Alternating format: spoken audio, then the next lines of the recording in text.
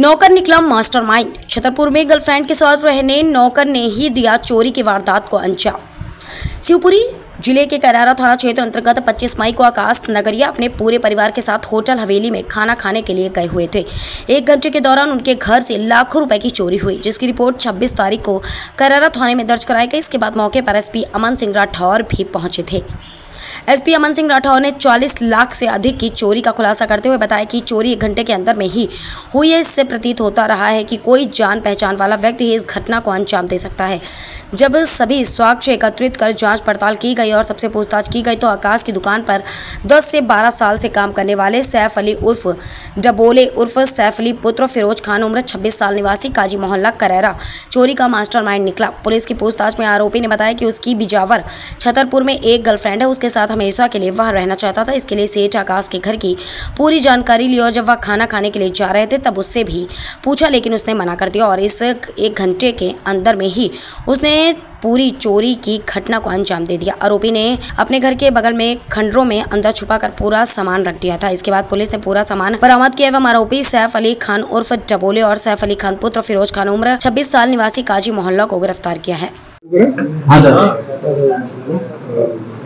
दिनांक 25 तारीख की रात्रि 9 से 10 के बीच में कस्बा करेरा में नकब जमी की बहुत बड़ी वारदात घटी थी। वहाँ के एक व्यापारी हैं, फर्नीचर के, श्री आकाश नगरिया जी। वो अपने परिवार के साथ रात्रि 9 बजे खाना खाने के लिए बाहर गए थे।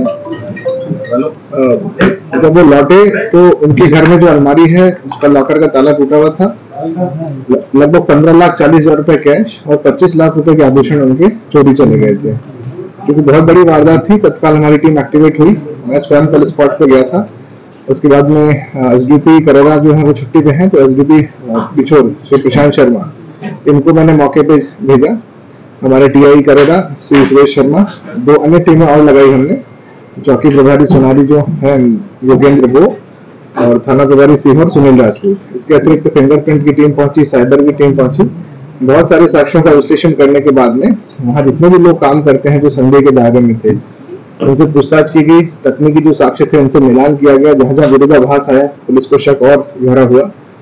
तो वहाँ पे श्री नगरिया जी के यहाँ पे एक व्यक्ति काम करता है सैफ अली खान।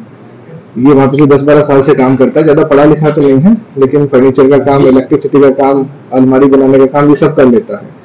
चूँकि वहीं रहता था ये, और पूरे घर की संरचना इसको पता थी कहाँ पे क्या रखा हुआ है, कहाँ से कौन सा गेट है, खिड़की है।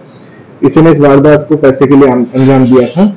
और सबसे अच्छी चीज़ इसमें यह है कि जितना भी पैसा और सोने के आभूषण गए थे, पूरे 40 लाख रुपए के, वो पुलिस ने रिकवर किए हैं। हमेशा जब चोरी की घटना होती है तो पीड़ित परिवार को यही चाहिए होता है कि उनको उनका पैसा और जो भी माल गया है, वो वापस मिल जाए। और ये मेरे भी करियर का पहला केस है जिसमें इतनी बड़ी राशि चोरी गई और पूरी की पूरी वापस पुलिस ने ढूंढ ली। आईजी साहब को भी मैंने कल अवगत कराया। आईजी साहब द्वारा जो उनकी शक्तियाँ हैं, उसमें प्रदत्त अधिकतम शक्तियों का प्रयोग करते हुए तीस हज़ार रुपए का नकद इनाम हमारी पूरी टीम को और एस साहब को प्रशंसा पत्र देने की उन्होंने घोषणा की है। बहुत बहुत धन्यवाद।